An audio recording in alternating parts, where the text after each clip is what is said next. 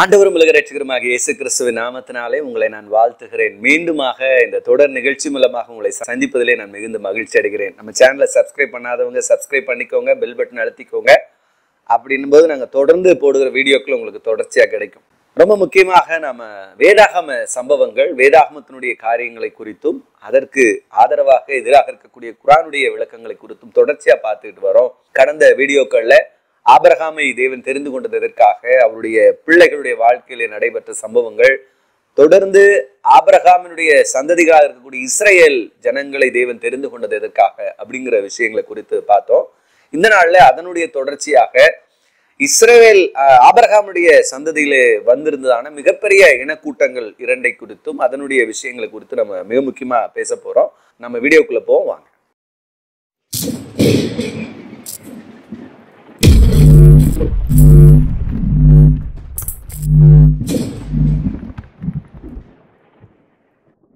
அன்பான சகோதர சகோதரிகளை வேதாகமத்துல ஆதியாகமம் பதினாறாவது அதிகாரத்துல ஆண்டவர் ஆகாரிடத்துல சொல்லும் பொழுது இவனுக்கு பெயர் இஸ்மயேல் என்று பெயரிடுவாயாக. இஸ்மயேல் அப்படின்னு சொல்றார். ஏல் அப்படிங்கிற ஒரு வார்த்தை. இஸ்மயேல் அப்படின்னு சொன்னால் தேவன் என்னுடைய ஜெபத்தை கேட்டார் சத்தத்தை கேட்டார் அப்படிங்கிற அர்த்தம்.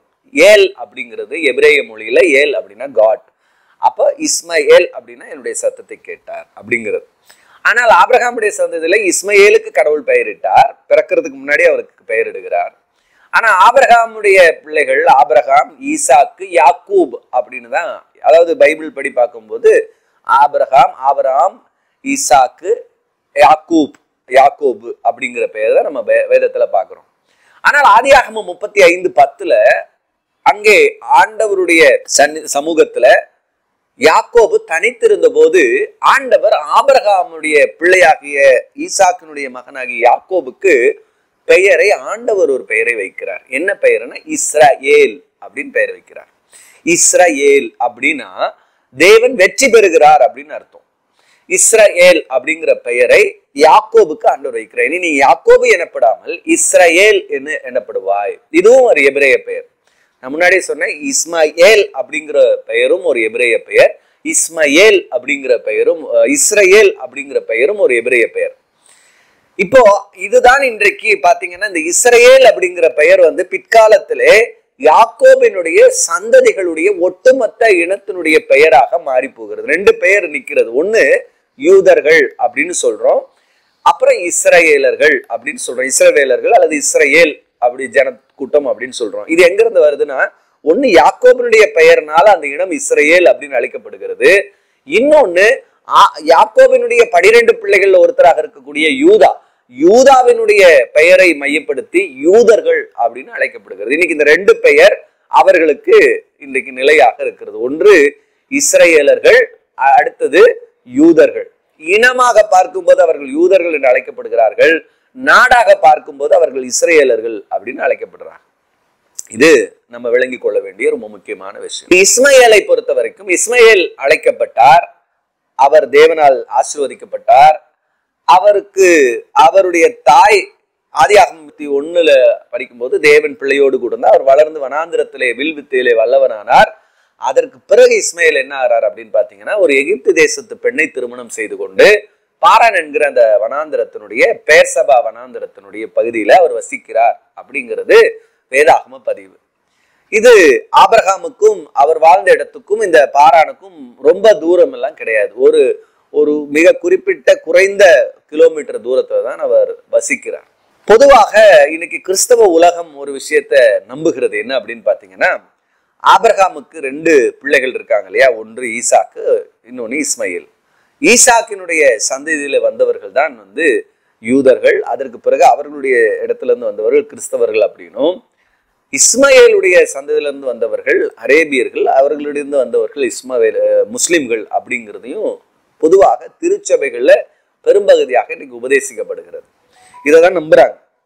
ஆனால் வேதாகம அடிப்படையில் அப்படி இருக்கா அப்படின்னு பார்த்தீங்கன்னா வேதாகம அடிப்படையில் அப்படி இல்லை அப்படிங்கிறத நம்ம புரிந்து கொள்ள வேண்டும். ஏன் அப்படின்னு சொன்னால் வேதாகமம் இஸ்மையலுடைய சந்ததியை குறித்து சொல்லும்போது இஸ்மையலுடைய சந்ததி பல இனங்களோடு ஆங்காங்கே கலந்து விடுகிறதை நம்ம பார்க்க முடிகிறது. இப்போ ஆதியாமம் முப்பத்தி ஏழுல இருந்து முப்பத்தொன்பது வரைக்கும் படிக்கும்போது அங்கே மேதியானியர் இனத்தோடு கூட இஸ்மையலர்களுடைய கலப்பினங்கள் இருக்கிறத நம்மாலே பார்க்க முடிகிறது.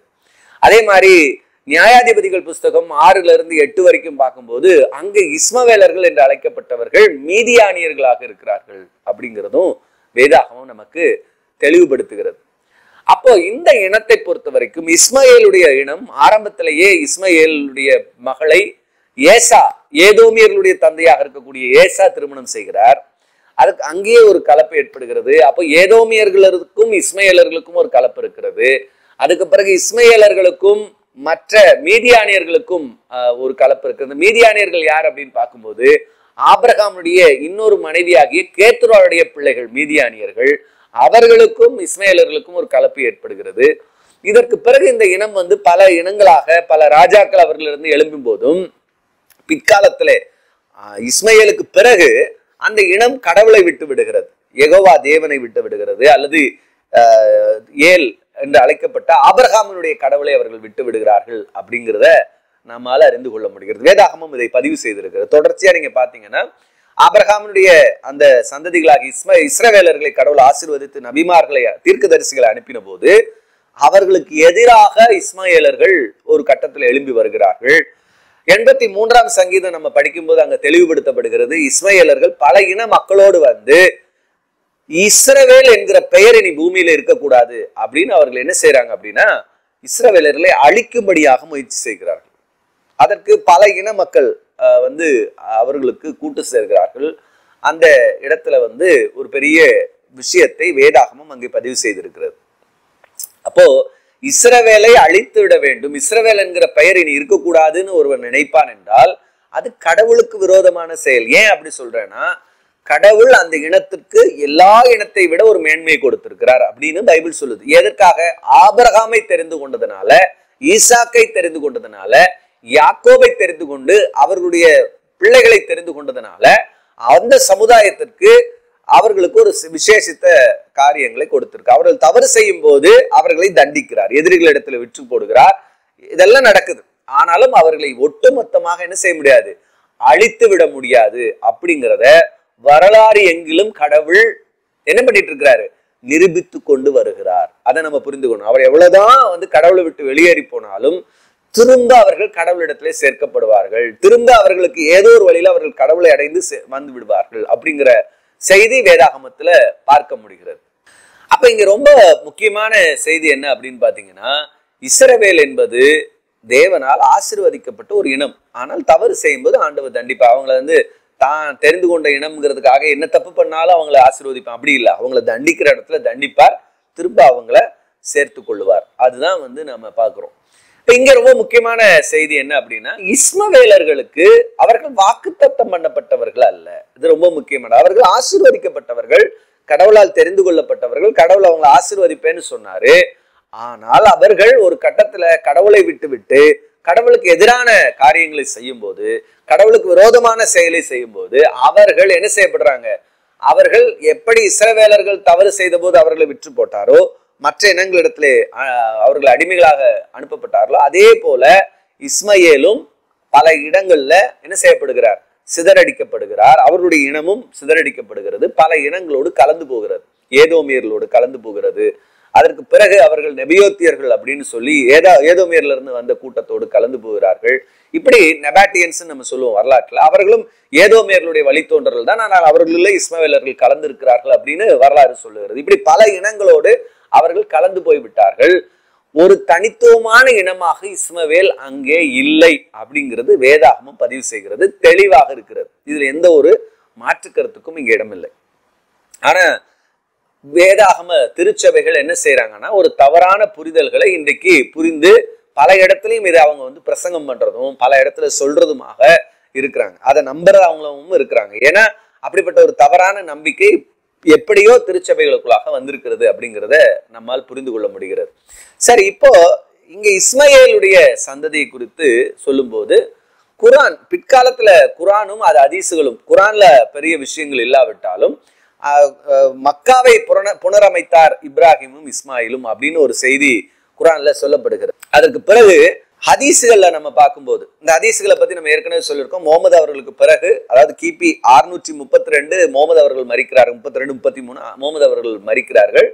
அதற்கு பிறகு கிட்டத்தட்ட இரநூற்றி ஐம்பது ஆண்டுகளுக்கு பிறகுதான் இந்த ஹதீஸுகள் பதிவு செய்யப்படுகிறது. அதாவது அதுக்கு முன்னாடி வந்து பல இடங்களில் வாய்வழி செய்திகளாக இருந்த ஹதீஸுகள் வந்து கிட்டத்தட்ட ஒரு இரநூத்தம்பது ஆண்டுகளுக்கு பிறகு பதிவு செய்யப்படுகிறது அப்படிங்கிறது செய்தி. இந்த ஹதீஸுகள் தான் வந்து என்ன பண்ணுகிறது அப்படின்னா இந்த இஸ்மவேல் சந்ததியை சேர்ந்தவர்கள் தான் என்ன செய்கிறாங்க முகமது அவர்களுடைய சமுதாயமும் முகமது அவர்கள் வந்து இஸ்மவேலுடைய சந்ததியில் வந்தவர் அப்படிங்கிற செய்தியை ஹதீஸுகள் தான் ரொம்ப ஆத்தென்டிசிட்டியா பதிவு பண்ணுது. அதுக்கு முன்னாடி சீராக்கள்ல இந்த செய்தி இருக்கிறது. இந்த சீராக்கள் முஸ்லீம் உலகத்தினால இஸ்லாமிய உலகத்தினால முழுமையாக ஏற்றுக்கொள்ளப்படாத ஒரு செய்தி. ஆனால் ஆங்காங்கே இருக்கக்கூடிய சில இடங்கள்ல அதை பயன்படுத்துகிறார்கள் என்றாலும் சீராக்களும் வந்து முழுமையாக ஆதாரங்கள் எந்த அடிப்படை ஆதாரங்களும் இல்லாமல் அவர்களும் என்ன சொல்லுகிறது? அந்த சீராக்கள் என்ன சொல்லுதுன்னா முகமது அவர்கள் இஸ்மாயிலுடைய வழி வந்தவர் அப்படிங்கிற ஒரு செய்தியை பதிவு செய்கிறது. ஆனா இதற்கெல்லாம் ஆதாரம் இருக்கா அப்படின்னு கேட்டால் அதற்கான ஆதாரங்கள் எதுவுமே அங்கே கொடுக்கப்படவில்லை. கொடுக்கப்பட்ட பெயர்களும் வேதாகமத்திலிருந்து சில பெயர்களை எடுத்துத்தான் அவர்கள் இதுவாக இருக்கலாம் அப்படிங்கிற ஒரு முப்பதுக்கும் மேற்பட்ட பட்டியலை முகமது அவர்களுக்கும் இஸ்மாயில் அவர்களுக்கும் இருக்கக்கூடிய அந்த வம்ச வழியாக அவர்கள் சொல்லுகிறார். ஆனா அது எந்த இடத்துல ஒரு இடத்துல வரும்போது ஸ்டாப் ஆயிருது. அதுக்கு பிறகு வந்து பைபிளுக்குள்ள தான் வராங்க. பைபிளுக்கு அதுக்கு நேரடி எந்த தொடர்பும் அங்கே இருக்கிறது இல்லை அப்படிங்கிறத நம்மால் அறிந்து கொள்ள முடிகிறது. இப்போ ரொம்ப முக்கியமாக ஹதீஸ்ல ஒரு பதிவை நம்ம பார்க்க போகிறோம் புகாரி அதீஸ்ல மூவாயிரத்தி முன்னூற்றி அறுபத்தி நாலாவது ஹதீஸ் என்ன சொல்லுகிறது அப்படின்னு பார்த்தீங்கன்னா இது ஒரு மிக நீண்ட ஹதீஸ். நான் உங்களுக்கு இதை முழுமையாக இங்கே போட முடியாது. ஒரு பெரிய ஹதீஸ். அதனுடைய சம்பவத்தை நான் சொல்லுகிறேன். ஆபிரகாம் அந்த பிள்ளையையும் ஆகாரையும் கொண்டு போய் இன்னைக்கு இருக்கக்கூடிய அந்த மக்கா சவுதி அரேபியாவில் இருக்கிற மக்கா பட்டணத்திலே விட்டு விட்டு வந்ததாகவும் அந்த நேரத்திலே அங்கே தண்ணீர் தீர்ந்த பிறகு அந்த குழந்தையாக இருந்த அஹ், அதாவது குழந்தைனா பால் இருந்தக்கூடிய குழந்தையாக இருந்த இஸ்மவேல் கதறி அழுகிறதாகவும் அதற்கு பிறகு பால் கொடுக்க முடியாத அளவுக்கு பலவீனமான நிலையில ஆகார் அங்கே அலைந்து ஓடினதாகவும் அதற்கு பிறகு அங்கே நீரூற்று திறக்கப்பட்டதா இப்படிப்பட்ட ஒரு சம்பவத்தை பற்றி சொல்லுகிறது. வேதாகம வசனங்கள் தெளிவுபடுத்துகிறது. ஈசாக்கு பிறந்த பிறகுதான் இஸ்மயேல் வெளியே அனுப்பப்படுகிறார் அப்படிங்கிற செய்தி வேதாகமும் தெளிவா சொல்லுகிறது. அதாவது ஆபிரகாமுக்கு இஸ்மயேல் பிறக்கும் போது எண்பத்தி ஆறு வயது. ஈசாக்கு பிறக்கும் போது நூறு வயது ஏறக்குறைய பதிமூணுல இருந்து பதினான்கு வயது நிரம்பினவர் இஸ்மையில். ஒரு ஆறு மாதமோ ஒரு வருடமோ பால்ல இருந்துற நேரம் வைத்துக்கொண்டு மிக குறைந்த அளவு வைத்தா கூட ஒரு பதிமூணு பதினான்கு வயதுக்கு மேற்பட்டவராகத்தான் இஸ்மாயேல் இருந்தார் அப்படிங்கிறத நம்மால் வேதாகம வசனத்திலிருந்து புரிந்து கொள்ள முடியும். அப்போ ஒரு சிறு இளம் வாலிப பிள்ளையாகத்தான் அந்த ஒரு செல்வ சீமான் இடத்துல வளர்ந்த ஒரு வாலிப பிள்ளையாகத்தான் வனாந்திரத்துக்கு ஆகார் மூலமாக அனுப்பப்பட்டார் அப்படிங்கிற செய்தியும் பாரான் என்கிற வத வனாந்திரம் அப்ரஹாம் வாழ்ந்த கானான் இன்னைக்கு இருக்கக்கூடிய எப்- எப்ரோன் என்கிற மக்களா அந்த பகுதிக்கும் கா பாரான் மனாந்திரத்துக்கும் மிகப்பெரிய தூரம் அல்ல ஒரு குறிப்பிட்ட கிலோமீட்டர்களுக்குள்ள தான் இருக்கு அப்படிங்கிறதும் வேதாகமும் பதிவு செய்திருக்கிறது. இஸ்லாமிய பின்னணியத்திலிருந்து சொல்லுகிறபடி ஆபிரகாம் மக்காவுக்கு கொண்டு போய் விட வேண்டும் என்று சொன்னால் ஏறக்குறைய ஆயிரத்தி முந்நூறு கிலோமீட்டருக்கு மேல அவர் வாழ்ந்த பகுதிக்கும் இன்றைக்கு இருக்கக்கூடிய மக்காவுக்கும் இருக்கிறது அப்படிங்கிறது ரொம்ப குறிப்பிட வேண்டிய ஒரு விஷயமா இருக்கு. அப்ப இந்த இடத்துல இருந்து அவ்வளவு தூரம் இன்னையில இருந்து நாலாயிரம் ஆண்டுகளுக்கு முன்பாக பயணம் செய்வது அப்படிங்கிறது சாத்தியமானதா அப்படிங்கிறது நம்ம சிந்தித்து அறிந்து கொள்ள வேண்டிய விஷயம். சரி அப்படியே இருந்தாலும் அதற்கு பிறகு ஆதியாம இருபத்தி ஐந்துல படிக்கும்போது ஆபிரகாம் மரணம் அடைந்த போது அவருடைய மகனாகி ஈசாக்கும் இஸ்மயேலும் அவரை அடக்கம் பண்ணினார்கள் என்று வேதாகம் பதிவு செய்திருக்கிறார் அப்போ அதே மக்பலா குகையில பதிவு செய்யப்பட்டு மக்பலா குகையில தான் அவர் அடக்கம் பண்ணப்படுகிறார். அது எப்ரோன்ல இருக்கிறது. இன்றைக்கு இருக்கக்கூடிய வெஸ்ட் பேங்க் பகுதியில் இருக்கக்கூடிய மக்பலா குகைக்கு அங்கே அடக்கம் பண்ணப்பட்டார் அப்படின்னு சொன்னா மக்காவிலிருந்து இஸ்மையல் இங்க வந்து செய்தி போய் இங்க வந்து சேருவது அப்படின்னா கிட்டத்தட்ட ரெண்டாயிரத்தி அறநூறு கிலோமீட்டர் தூரம் அதாவது போயிட்டு வரணும் அப்படின்னா செய்தி செல்லுவதற்கும் அங்கிருந்து ஆள் வருவதற்கும் ரெண்டாயிரத்தி அறநூறு கிலோமீட்டர் நாலாயிரம் ஆண்டுகளுக்கு முன்பாக பயணம் செய்து வருவது அப்படிங்கிறது அதுவும் ஒரு மரணத்துக்கு வருவது அப்படிங்கிறது சாத்தியமான காரியமா என்பதை நாம் சிந்தித்தால் போதுமானதாக இருக்கிறது. சரி வேதாகம வசனத்தில் பார்க்கும்போது பாரான் என்கிற வனாந்திரம் பெயர்சபா வனாந்திரம் யூதயா பகுதியிலே அதாவது வனாந்திர பகுதியிலே தாவீது அங்கே போய் இருந்திருக்கிறார் இஸ்ரேல் ஜனங்கள் நாற்பது ஆண்டுகள் வனாந்தரத்தில் சுற்றி பாரானுக்கு வந்து அங்கிருந்து தான் நாற்பது நாட்கள் ஒ- ஒற்றர்கள் வந்து வேவு பார்க்கிறவர்கள் வந்து இஸ்ரேல் தேசத்தை வேவு பார்த்து கானான் தேசத்தை வேவு பார்த்தார்கள் அப்படிங்கிற செய்தியும் பைபிள் பதிவு செய்திருக்கிறது. அப்போ ஒரு மிக அருகாமையில் இருக்கக்கூடிய சில நாட்கள் பயணித்து வரக்கூடிய அளவுக்கு இருக்கக்கூடிய ஒரு பகுதியில தான் வந்து ஆப்ரஹாமும் இஸ்மாயிலும் வாழ்ந்திருக்கிறார்கள் அப்படிங்கிற செய்தி வேதாகமத்தில் தெளிவாக இருக்கிறது. அதுவும் இல்லாமல் அவர் குழந்தையாக அனுப்பப்படவில்லை.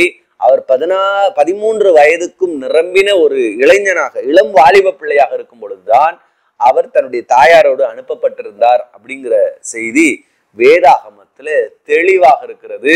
இதை பரிசுத்த வேதாகமத்தினுடைய பழைய ஏற்பாடு யூதர்களுடைய புத்தகமும் சொல்லுகிறது. கிறிஸ்தவர்களுடைய வேதாகமம் புதிய ஏற்பாடும் அதைத்தான் சொல்லுகிறது என்பதை நாம் புரிந்து கொள்ள வேண்டும். குரான் இந்த விஷயத்தை குறித்து பெரிய அளவுக்கு சொல்லாவிட்டாலும் ஹதீஸுகள்ல முகமது அவர்களுக்கு பிறகு 250 ஆண்டுகளுக்கு முன்பு பதிவு செய்திருக்கிற ஹதீஸுகள்ல இப்படிப்பட்ட செய்தி இருக்கிறது. ஆனால் இங்க ஒரு பிரச்சனை இருக்கு. முகமது அவர்கள் இஸ்மாயில் சந்திதியில தான் வந்தார்களா அப்படிங்கிற செய்தியைத்தான் நாம பார்க்க வேண்டியிருக்கிறது. இன்னொரு வீடியோல நாம நிச்சயமா இந்த காரியங்களை குறித்து பார்ப்போம். God bless you.